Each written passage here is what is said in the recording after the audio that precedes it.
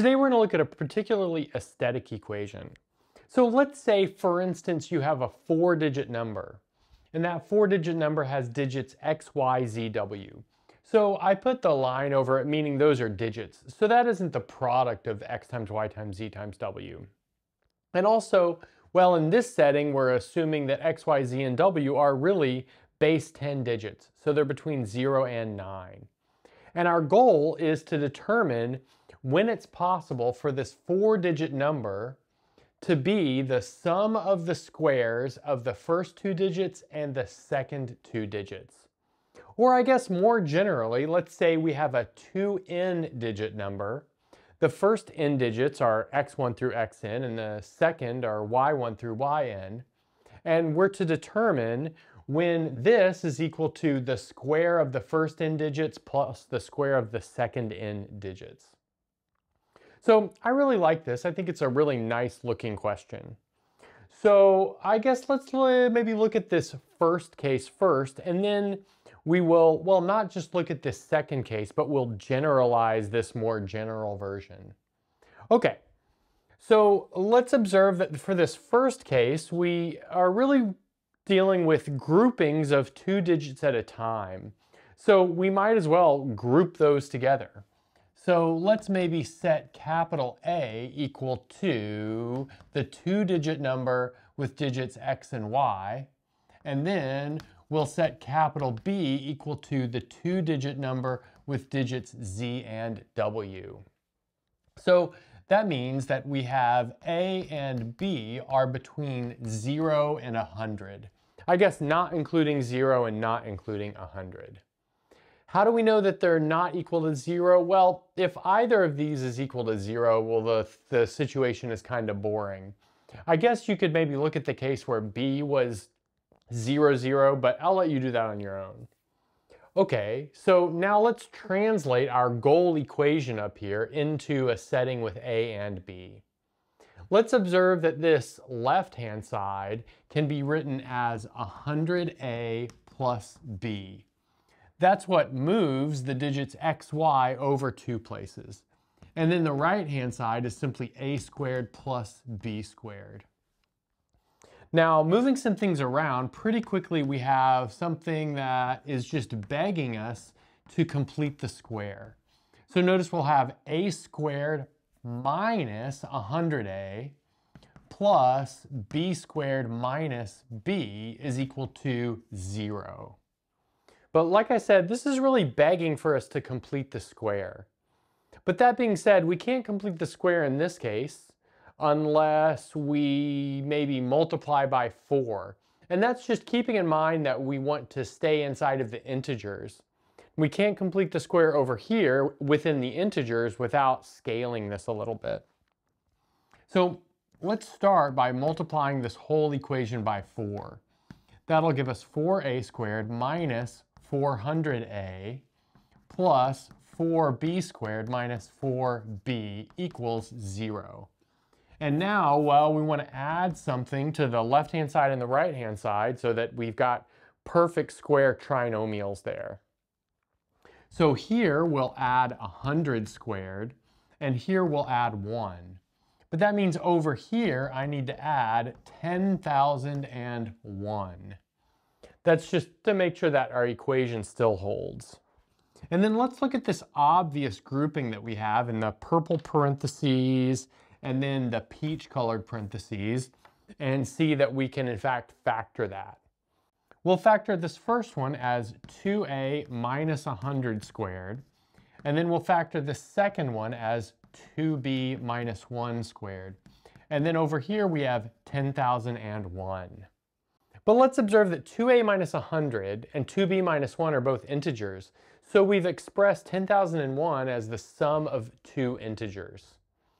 But the trick here is to look at all of the ways of expressing 10,001 as the sum of two integers and distribute those across what we have right here for a and b, and then we'll, we'll have equations for a and b.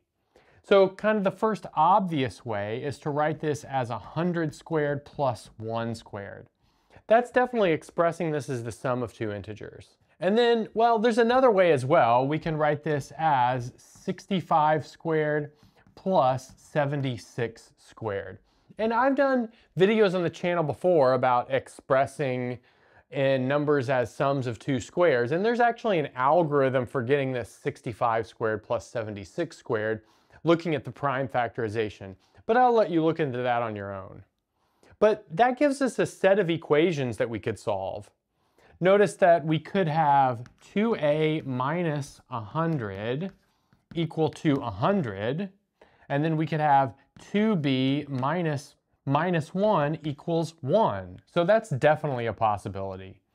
But let's observe that that means that a is equal to 100, which contradicts something that we have at the beginning. So this is actually an impossibility. I guess we get one other case where we could have 2a minus 100 equals 1 and 2b minus 1 equals 100. But notice 2b minus 1 needs to be odd, so that means that it can't be 100. But I guess that's going to take care of both possibilities that arise from this first writing as a sum of two squares, this 100 squared plus 1 squared, and neither of those gave us a solution. So that means from here we should probably look at this second version of the sum of two squares for 10,001. And let's use the fact that 2b minus 1 equals an odd number, and we only have one odd number over there, 65. And 2a minus 100 is even. We only have one even number over there, 76. So that means we have the following possibilities. We have 2a minus 100 equals plus minus 76. Observe that we really need plus minus 76 because another solution over here would be minus 76 squared. And then we could have 2b minus 1 equals plus minus 65. Now let's see what that leads us to. So this one right here leads us to A being equal to either, let's see, 12 or 88. And that's because we can take the plus or the minus. So for the plus, we have 2a equals 176, but that means a is equal to, like I said, 88. But then with the minus, we would have 2a equals 24. That would be a equals 12. Now let's see for this other case. Notice here we actually don't have the ability to have both plus or minus. Because we have a minus there, then b would be negative. So we really just have plus 65. But that means that 2b is 66. In other words, b is 33. But now we can group those first two digits with those last two digits, and we have a solution to our problem. Notice that we have 1233 is equal to 12 squared plus 33 squared. And then the other case that comes out of this is, is 8,833 is equal to 88 squared plus 33 squared. And those are the only possibilities of four digit numbers that break apart like this as the sum of the first two digits squared plus the second two digits squared. That being said, let's see if we can look at a more general strategy for these types of problems. In order to look for a more general strategy, let's look at our equation right here, and let's observe that we can group some things together here. We could group the first n digits into a number that I'll call, well, let's, for sake of argument, call it capital A again. So that's going to be x1 up to xn. And then capital B will be the number with the digits y1 up to yn. And now we can rewrite our equation here as it's going to be a times 10 to the n plus b is equal to a squared plus b squared. But here we have a and b are less than 10 to the n because they're meant to represent n-digit numbers. Okay, but actually I'd like to generalize this a little bit more and think about, well, what about some sort of general base? So let's say in base B, we could have capital A and capital B between 0 and B, and this turns into A times little b plus capital B is equal to A squared plus B squared, capital A squared plus B squared. where before our base was 100, we were really working base 100. And in this setup right here, we're working base 10 to the n. So that means that really solving a Diophantine equation like this right here is the general strategy. So let's see if we can do that. So let's maybe bring this up to the top and move some things around. So I want to write this as a squared and then minus capital A times b and then plus b squared minus b equals zero. And now I'm going to do the same kind of thing I did before. So let's multiply by 4 everywhere. And, well, that doesn't change anything. So multiplying 0 by 4 just keeps it 0. And then we can think about completing the square. So we can complete the square here by adding b squared, the base squared, and complete the square here by adding 1. But that means we've got to do this on the other side of the equation too. So little b squared plus 1. But that gives us this nice sum of squares problem. Now let's observe we have 2 times capital A minus the base squared plus 2 times capital B minus 1 squared is equal to little b squared plus 1. But then the idea here is to re-express this as the sum of squares. Like perhaps it would be the sum x squared plus y squared. And then what we would do is have that lead to equations. For instance, 2a minus b equals plus minus x, and then 2b minus 1 equals plus minus y. And then from there, you could see which ones are solvable, and that would give us our solution in the end. So now that we've looked at a general setup, let's maybe look at a kind of cute example in base 12. So here we're gonna say our B is base 12, like I just said. Okay, so that means that the equation that we would have is 2a minus 12 squared plus 2b minus 1 squared equals 145. So that's 12 squared plus 1 squared.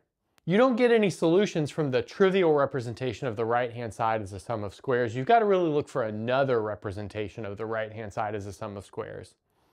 So that means in our problem down here, we need to express 145 as a sum of squares. So in fact, we can do that as plus minus 8 squared, and then plus plus minus 9 squared. That's because 64 plus 81 is 145. Okay, but now that builds us some equations. Notice that 12a minus 12, that's going to be an even number, so that's got to be equal to plus minus 8. So we've got 2a minus 12 equals plus minus 8. And then 2b minus 1 has to be plus minus 9. But in fact, it can only be positive 9 because b can't be negative. But now observe that in this case, we get two values for a pretty quickly notice that A could be equal to 2 or it could be equal to 10. But B can only have one value. Notice that B must be equal to 5. But putting this back in terms of our maybe equation over here, observe what we have is 2 times 12 plus 5 is equal to 2 squared plus 5 squared. So that's in the first representation. So that's from this first solution with a equals 2. But we could also write that as 2 5 base 12 is equal to 2 base 12 squared plus 5 base 12 squared. But then what about the one where a is equal to 10?